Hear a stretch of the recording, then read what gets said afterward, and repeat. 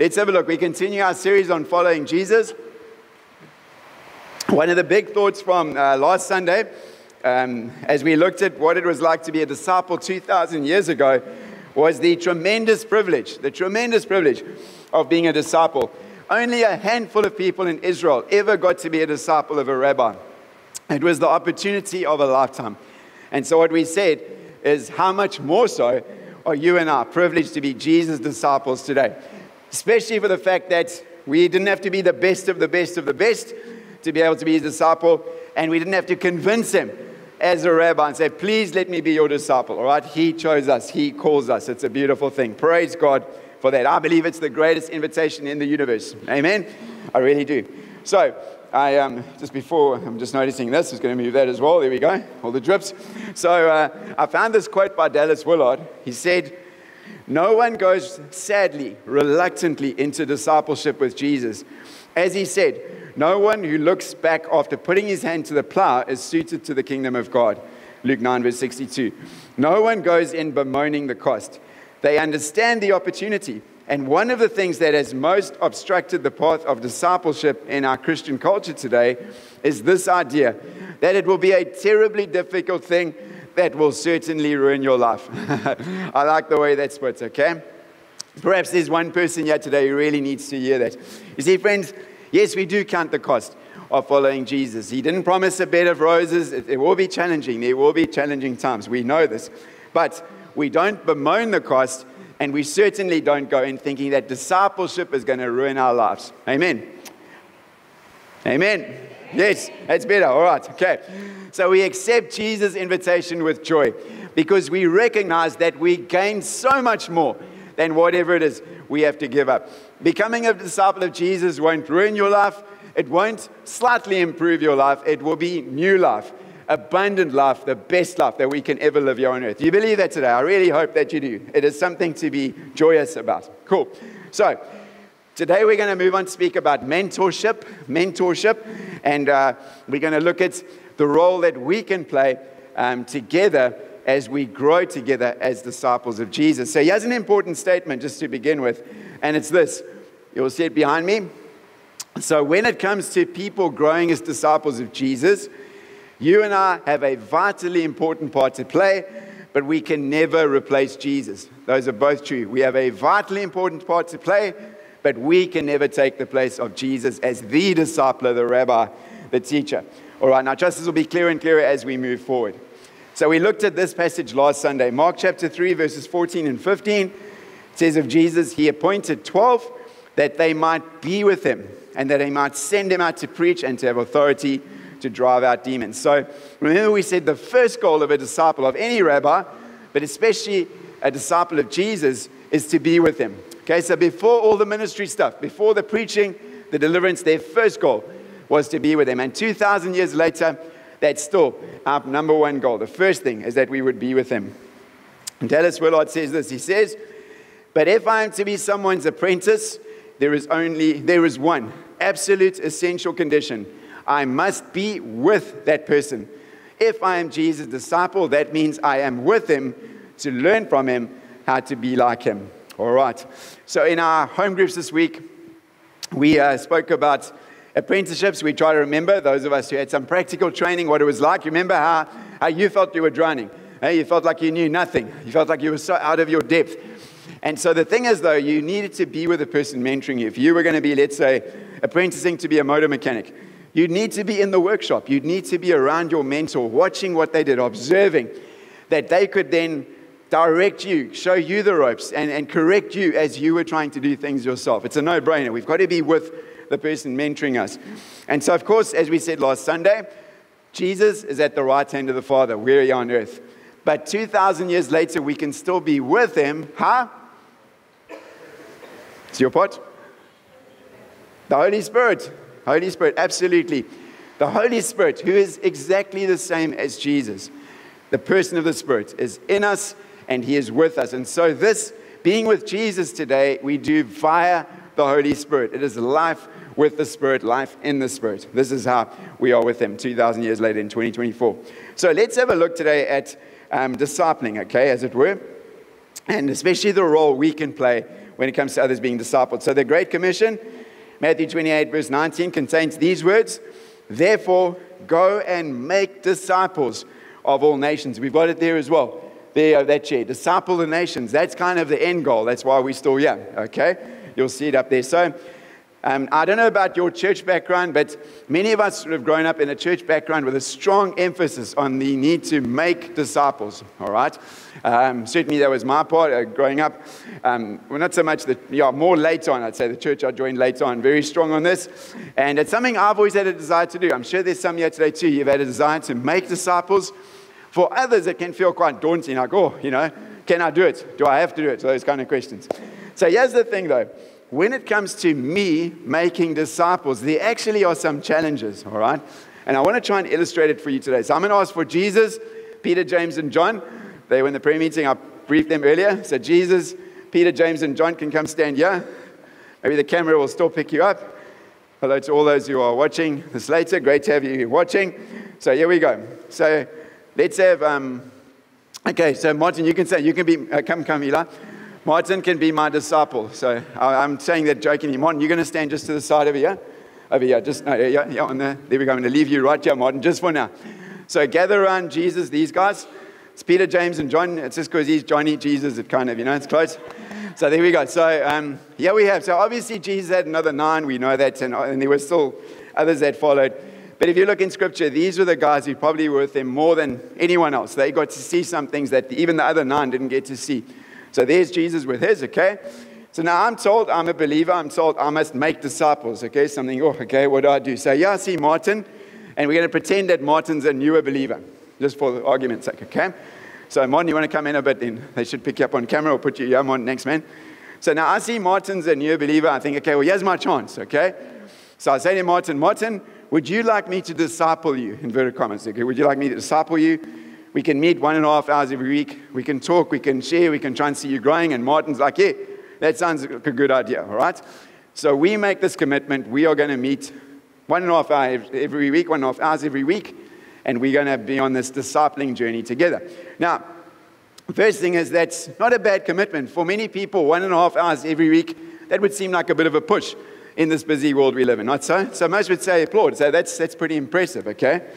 So, yeah, I've got my one and a half hours in terms of discipling, but over here, friends, and let me just make sure I've got the right number in my head still. I do remember it, yes. Okay, so there were times where Jesus did go off by himself.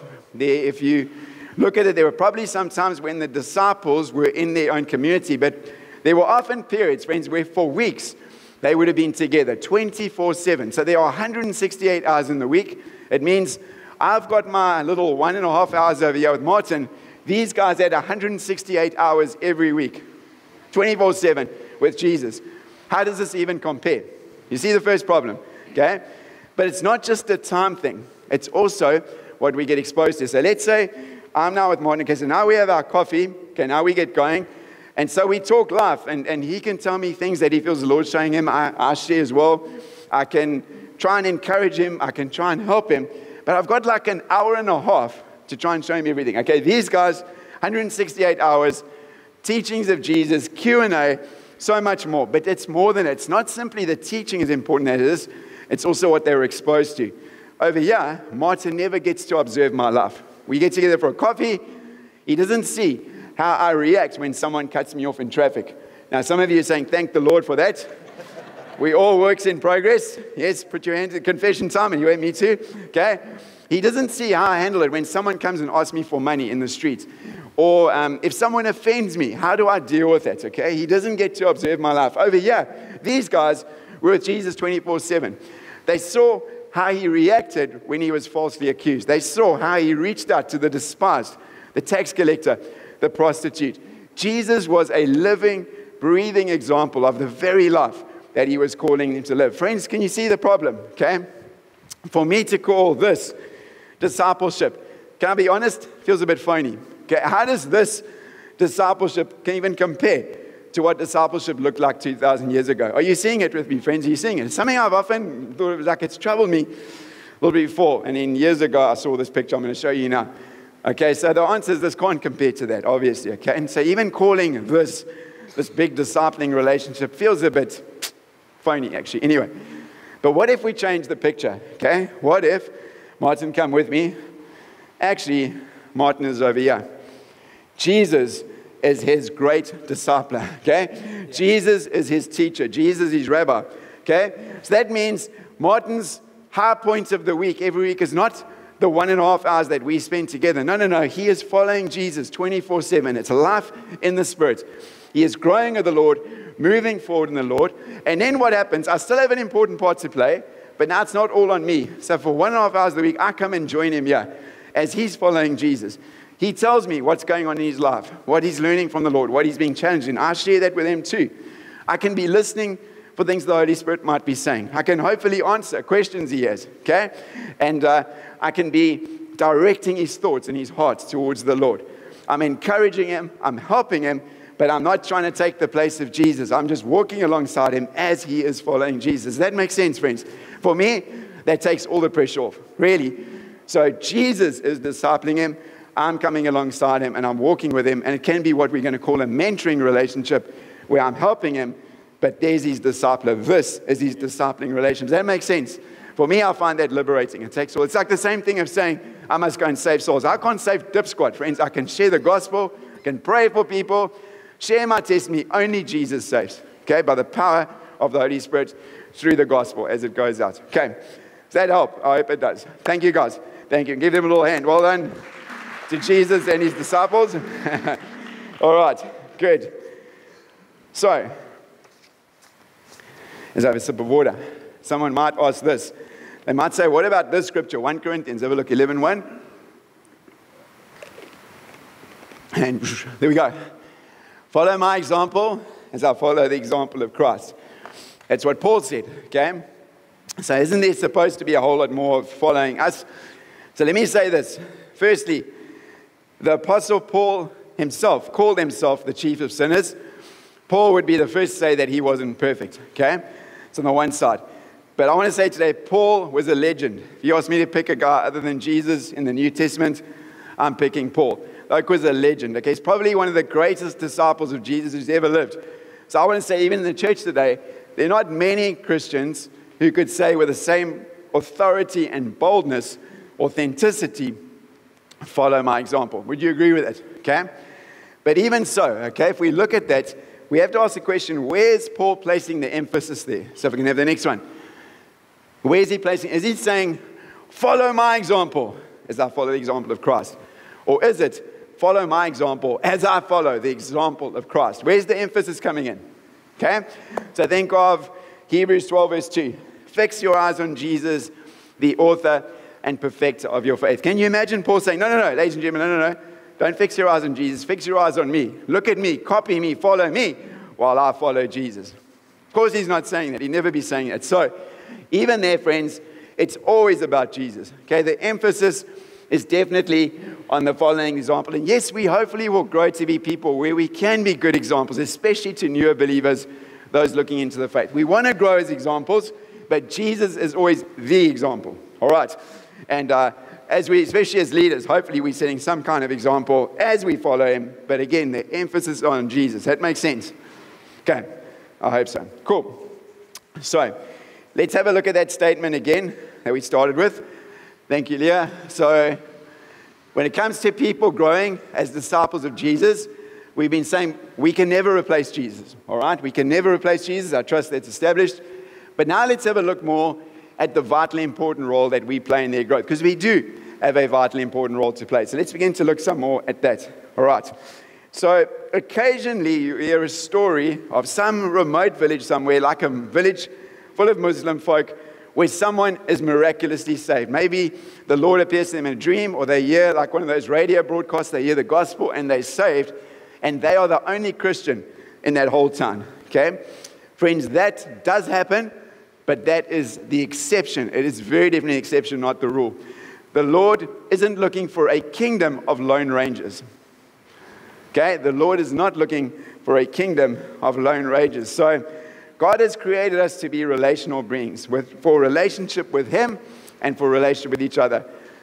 We need Christian community. I'm going to say it to you again today. We need Christian community.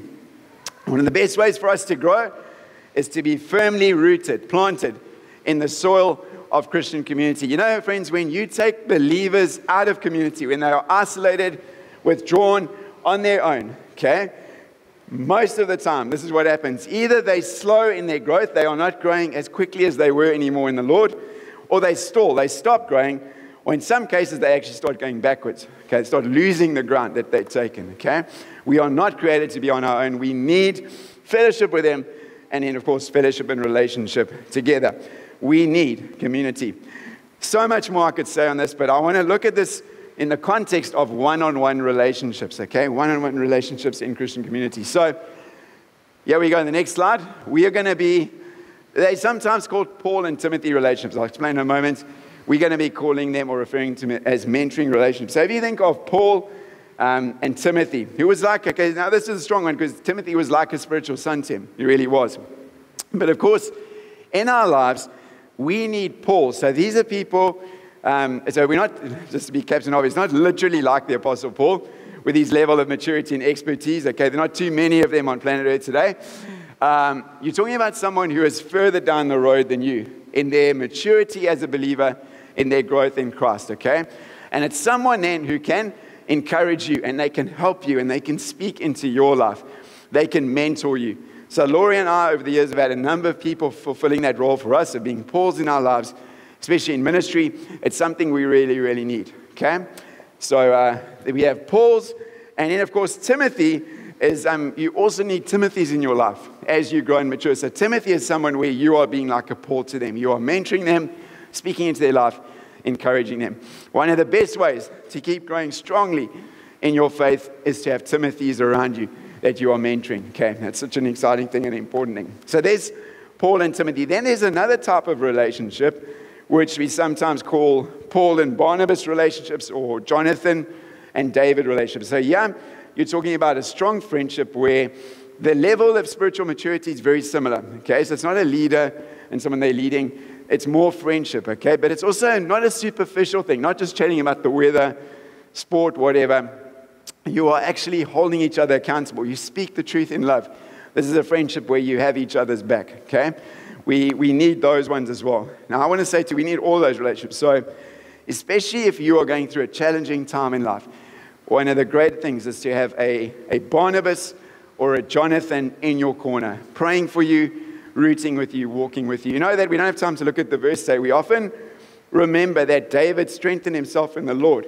We sometimes forget there's another place where Jonathan helped David to find strength in the Lord. And that's what Jonathans can do. They can help you sometimes to find strength in the Lord when you are struggling. Okay, we need Jonathans and Barnabases, but we also need our Pauls. We need our mentors. A mentor is someone who can help you to break open a ceiling, break open into new space, and to grow and advance in your walk with the Lord, your relationship with Him, and in serving the Lord as well. We need Pauls, we need mentors. Okay, these are so important, these relationships. So, again, for clarity, we're saying that these Paul Timothy relationships we are calling them mentoring relationships. But now, as I say that, I know someone might say, but Greg, I've been in the church 30, 40, 50 years.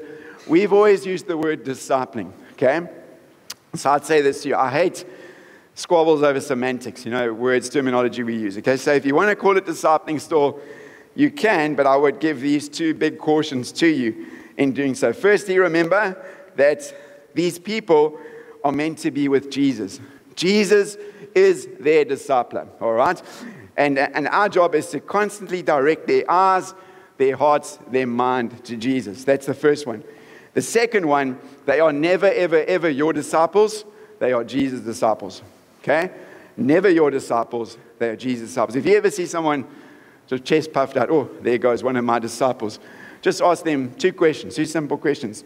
Just say to them, Did you ransom them from, from uh, sin and death by the shedding of your own blood? Question one. Question number two Is the Holy Spirit trying to change them into you or trying to make them more like Jesus? Those two questions should sort out any confusion, deflate the pride pretty quickly, etc. All right? They are always, always, always Jesus' disciples, never our disciples. Cool. Amen. Good. So, having said that, let's shift the focus now to this mentoring program that we want to embark on here at the church. And again, I said this morning too, I hate using a word like program. It's not this project, this thing we got to do. But anyway, it's, you know, I can't really think of a better word for now. So it's KCR mentoring program. Okay, so you'll remember that um, a few weeks back, and actually we did it over a few weeks. You, um, most of you completed a little mentoring slip, and you said that you were either available to mentor someone in the basics, so to be a mentor, or uh, you felt you needed some mentoring when it came to the basics of our faith to be a mentee. That is actually a word, by the way. It's not a fancy little mint sweet or something. Mentee, M E N T E. It's the one who's mentored, okay? So it is legit. Anyway, uh, I even looked it up just to be sure, but yes, it is. So the group of mentors was bigger than the group of mentees, was which, what you'd expect in a church, especially when it comes to the basics. So it should be our belief. Um, so what that means, friends, is that we are going to be assigning people who would like mentoring with mentors, but it means that because this group is big over here, not everyone here is going to have someone assigned to them. Okay? Please, if you don't get someone now, don't think, oh, what, what's wrong with me? Don't they know how special I am? Does nobody love me? No, no, no, don't listen to the lies coming from below. Nothing wrong with you. It's just in economic terms, supply exceeds demand. Okay? That's simple, all right? But, but this is the exciting thing is that we are going to send the mentoring resources to every single person who put their hand up and said, I would like to be available to mentor someone in the basics. So even though you might not get someone now, you are ready to go. If the Lord puts someone in your heart, you can begin mentoring straight away. Okay, you don't need our permission or waiting for us to do something there. Secondly, over the coming weeks and months, perhaps there are some people who come forward, or we might identify who say, I could benefit from some mentoring in the basics. I'd like some help. And then we can turn to that list. And those that didn't get names now, we can then ask them to help out. So, all right, so that makes sense. Trust it does. Cool. So if we talk about how this is going to work, the rollout, let me tell you what's going to happen in this coming week. So if you put your hand up to say, I would like to be mentored in the basics, you're going to get a message from the office. It's going to say something like this Dear, put your name in. You completed a mentoring slip to say that you would like to be mentored in the basics of our faith. We are planning to ask, name to go in, to mentor you. If you have any serious objection or concern to this person, please let us know immediately. Thanks, KCR office. That's what it's going to say. All right, so let me explain this to you, okay? Remember what it was like at school? So often, the start of the year, the teacher would decide who sat where. Remember, okay? Sometimes you check the name, oh, I don't really want to sit next to this. So you'd beg the teacher, please, ma'am, please do a reshuffle so you could have your mate come and sit next to you, all right? This is not that. This is not that. I really need to emphasize that. So the reality, friends, is in a church like this, there are some people sitting here who, to be honest, quite a few of you would say, Yeah, I'd really like that person to be my mentor, but there's, that's not possible, okay? And so the thing is this, now I do want to say this too, is that in putting people together, we haven't just drawn names out of a hat, okay? Here's Mark, here's Bob, okay? You know, away you go. We prayed, a number of times we prayed over this. We asked the Lord to direct us. This is intentional as well. We're trying to look at who we feel should be going together. We're not saying we got it perfectly right, but we're trying to give you an assurance. We didn't take this lightly, okay? We really prayed, really tried to see people coming together where this can, can be fruitful and, and even advantageous for both, okay? So, this isn't swapping desks. I don't really want to emphasize this, but this is the thing is that um, you can't get your preferred mentor because they're probably already taken. Just being blunt, okay? But what this is about is let's say we say we're going to put you with Bob, I always use Bob, Bob, and you get there and you think, oh no, you've got some serious history with Bob, something we don't know about.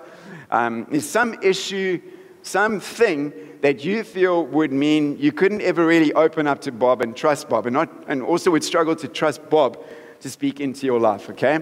Can I just say, if that's the case, you should really be dealing with that, you and Bob, okay? But anyway, you should. Um, so we're not expecting anything to happen, but if there's a situation like that, you just have to quickly get back to the office and say, please, if you don't mind, I'd rather ask for someone else to mentor me. Okay? And then we'll get back to you, we'll see what we can do. But I'm not expecting, okay, I'm not expecting anything. Even where like people have said or we know they know each other, we've tried as much as we can to make this um, a connection that will work. All right.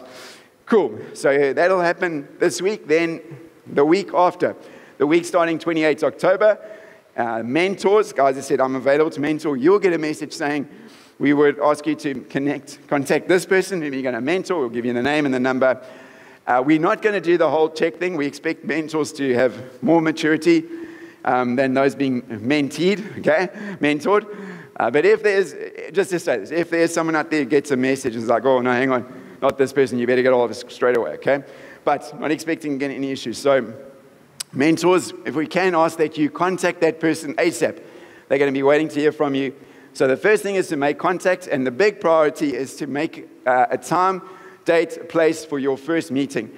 That first meeting is an important one, it's a relaxed one. In some cases, you already know the person, but it's a, a chance to get to know them more, get to know each other, get to know each other's stories, talk about expectations, talk about the way it's going to work, and especially how often you're going to meet. Okay, so that, that meeting will happen soonish then. Obviously, as mentors contact those they're walking with, those things will be set up. I do want to speak about the thing of how often you should meet. Okay? So keep in mind, yeah, keep in mind, we are not asking you to make a lifelong commitment to each other, okay? You're not marrying the person, so relax.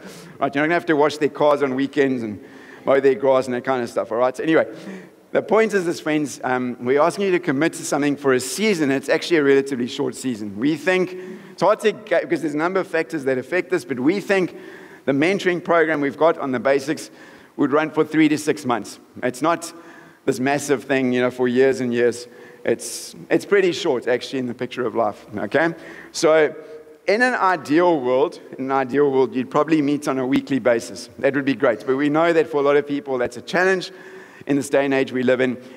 Having said that, to meet once a month, that's going to be too infrequent. That's not often enough to get the most out of this. So, we would recommend that you aim to meet at least once every two weeks for an hour to an hour and a half you'll get the most out of it that way, okay? Or more, you'll get the most out of it probably on a weekly basis, but um, an hour to an hour and a half every two weeks, that's pretty good if you do that for six months. So um, I was working out again, so that's in, a, in two weeks, there are 336 hours. There we go. One to one and a half hours out of 336 hours every two weeks. Turn to your neighbor and say, You can do it. You can do it. You can do it. Some of you aren't too sure yet. No, you can. Believe me, you can. All right? So, that would be a suggestion in terms of how often you should meet. What we're going to cover so, there are materials we're going to be sending to the mentors. Okay, we're going to combine it in a PDF, in a, in a manual, a booklet that we'll send out so you don't have little bits and pieces of paper. We'll probably update that all the time. Um, but we are going to ask everyone to start out by working through this book. Here we go, the Ignite book. How many of you remember Ignite? How many of you did Ignite? Okay? So we launched Ignite. That's our new logo there. It looked a bit different. In fact, I've actually got one half ripped apart that we had to use for PDF a while ago. We launched this over 13 years ago, would you believe it? Here in KCR. It's quite amazing. So some of you were around for that. Now, where did it go? It was, yeah? Just give me a second. All those bits of paper. Okay, here we go. That's it. So it used to look like this. You might remember our old logo, that's what it looked like, okay? So that's Ignite. It was a resource of Common Ground Church in the Cape. They gave us permission to use it, and we could then adapt it to make it our own. So you'll find testimonies in here of people who either they're still in KCR or they certainly were in KCR. Okay, but that's, that's the Ignite book. So this is, as you can see there, it says a 31 day journey into the Bible for new believers and not yet believers. That's the great thing about it. It's a book that um, if you are newer to the faith, it's great for the basics, okay? And also, it's a book for those who are not yet Christians. They're still looking into the faith. You can even take them through this book. It's very, very helpful for that. Okay?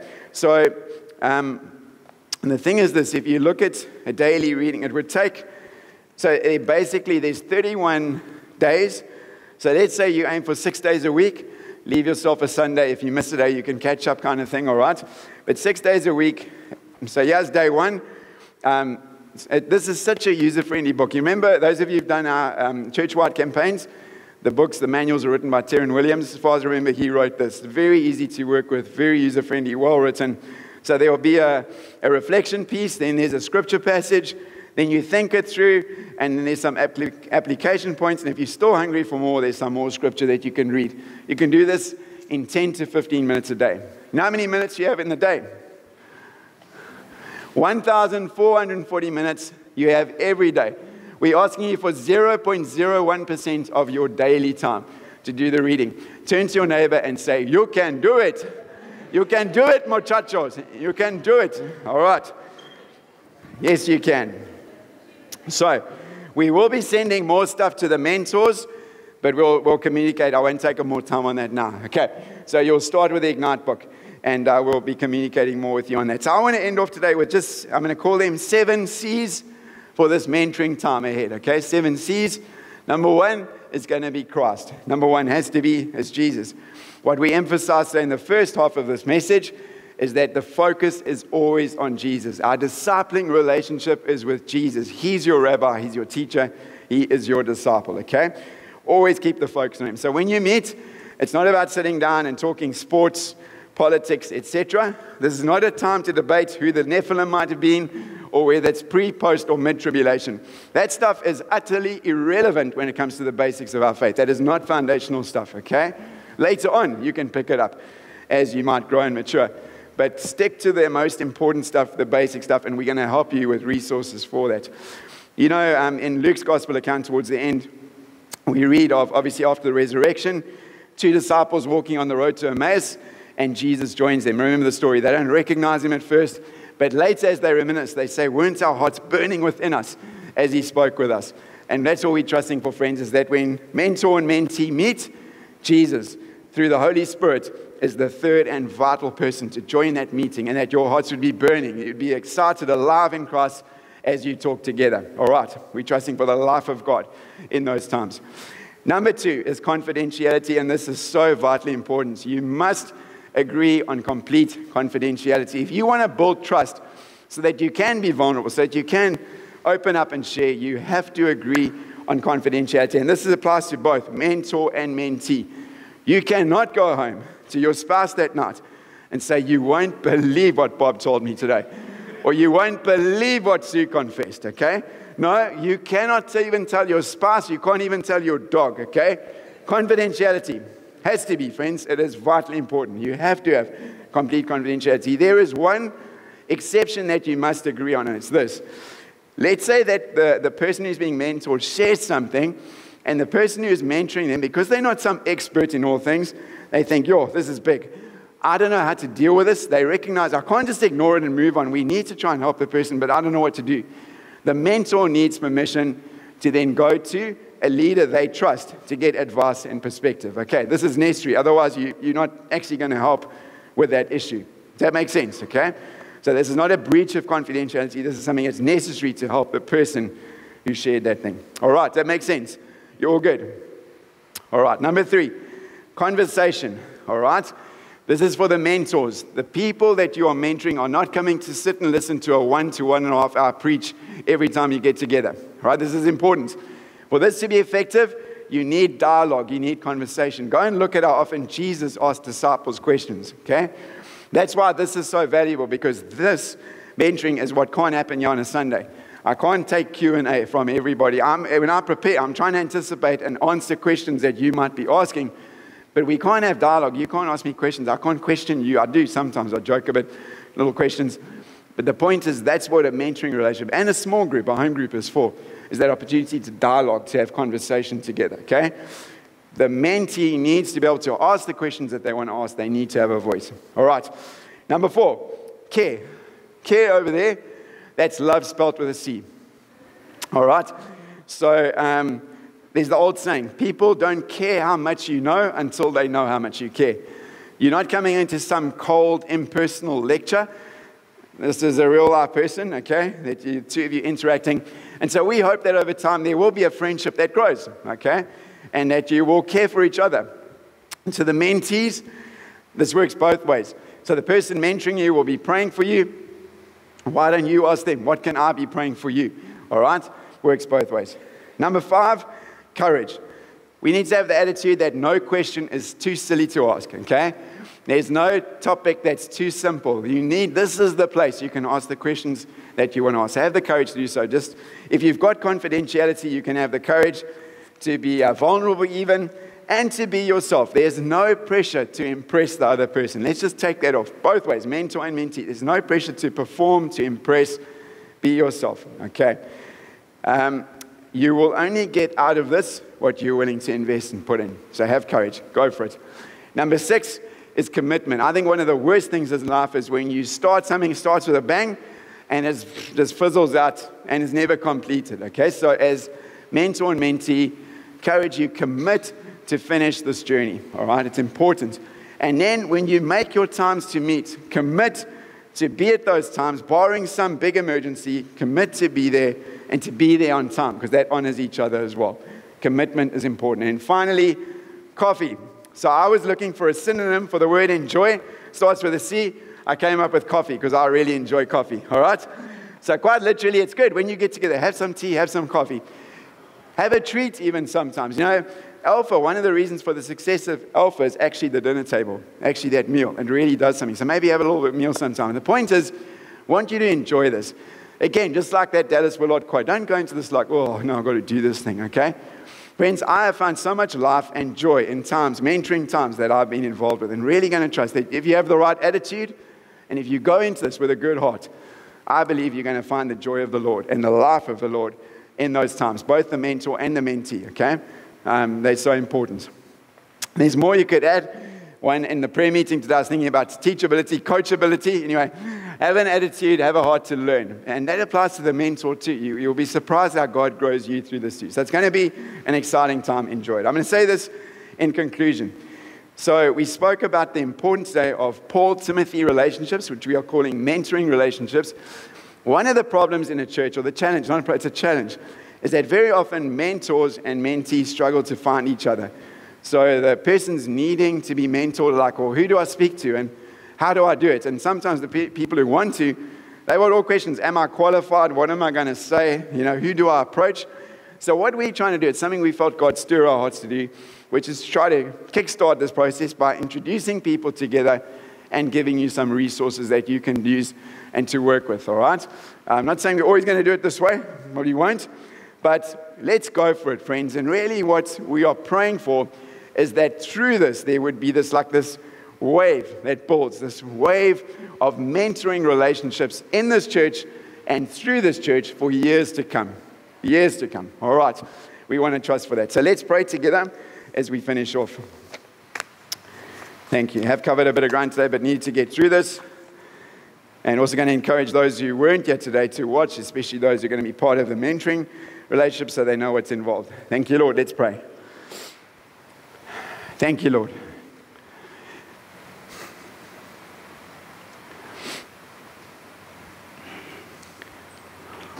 Jesus, thank you again. We want to we want to go back to where we began. Thank you again for the awesome privilege of being invited by you to be your disciple. We again recognize that no human being, no church, no group of Christians can ever take your place as our discipler, especially as you disciple us through your word and especially through your Holy Spirit in us. Thank you for that, Lord. But thank you that as people, we have a vitally important role to play as we partner with you in this discipleship journey of people. And one of these things we've been looking at today is mentoring. And Father, I want to pray for these Paul and Timothy relationships to grow and to flourish in this church and through this church. Father, we dare to ask that this, we, even the word program, don't like using this, this word, we don't want this just to be this little project, this little thing we do for the next few months, and in it, that's it, over and done with. We want to pray, Lord, that you would stir our hearts, that we would find so much life and joy in this that we almost couldn't wait for the next mentoring relationship. Those who are mentors, we pray they wouldn't just mentor one now, but many in the future. Those who have been mentored in the basics, we pray they will go on to take others through the basics and experience life and joy in doing so. We ask again, Lord, that this would be successful, this would be fruitful to your glory, Lord Jesus. We pray that you would cause it to work. So thank you now, Lord, even now it's a growing excitement um, for what lies ahead. We pray that we're going to find so much life in these mentoring times together. And we pray, Lord, for growing as your disciples, as ultimately we keep our eyes on you and follow you. We pray this confidently in Jesus' name. Thank you, Lord. Thank you, Lord. I just want to end off today. Before we do, just let's pray something really important. There might be someone here today who has never begun the journey of not more than just coming to a church or following a man, but the journey of following Jesus. There is only one who can save you, and his name is Jesus. He lived the perfect life you could never live, and then he gave his life for you on the cross of Calvary to ransom you with his very own blood, to pay the price so that all your sin could be forgiven and that you could have everlasting life with God. There's only one way to the Father and to life with God, life that begins now, You're on earth, and that's Jesus. He calls you now to follow Him as His disciple for the rest of your life. That's the call today, that's the invitation. If you want to respond to that today, I want you to pray this prayer. And let's all pray it out loud today again. I know last week, but pray this out loud. We're praying with, even if there's one person today who's praying this prayer from their heart, let's pray with them and so let's pray this. Pray with me as we pray and say, Jesus Christ, I call on your name to save me. God, I confess that I've sinned against you. I ask you today to forgive me for all of my sin. Thank you, Jesus, that today I am cleansed, I am adopted into the family of God. I am a citizen of the heavenly kingdom. And from this day, Jesus, I will follow you. I, repent. I turn from the life I've been living to follow you, Jesus. Please fill me with your Holy Spirit. Open your word, the Bible, to me, and give me grace to follow you, Jesus, all the days of my life. My life is yours. In Jesus' name I pray. Thank you, Lord. As we're in this place of prayer, just with heads bowed and eyes closed, I would love it if, if you prayed that prayer today. Would you raise your hand so I can witness with you? Anyone who prayed? Thank you. Thank you. Thank you. Anyone else? Thank you, Lord. Thank you, Lord. So, Father, we just thank you both here and perhaps later someone who might even be watching this online. We just thank you, Lord, for your amazing mercy and your grace. And Lord, I feel today as I look at these are recommitments that I'm recognizing them, believe. And so, Lord, we pray today that you would even now grab hold of these hearts. And, and Lord, that they would be undivided hearts. They would be hearts that are fully yours, and that you would give grace and strength to follow you all the days of their lives. We thank you, Lord, for a greater measure of abundant life than these men have ever experienced before. We pray for that, that they would grow to know you more than ever before that their hearts and their lives would be fully surrendered to you. And Lord, that they would grow as your disciples, Jesus. We pray for this today. We commit them to you. We thank you for what you've done, Lord. And thank you again for your mercies that are new every morning. Thank you for your amazing grace that saves us. Thank you for this gift of salvation and this invitation to life with you, following you, growing to be like you. We thank you, Jesus. In your name we pray. And together we said, Amen and Amen.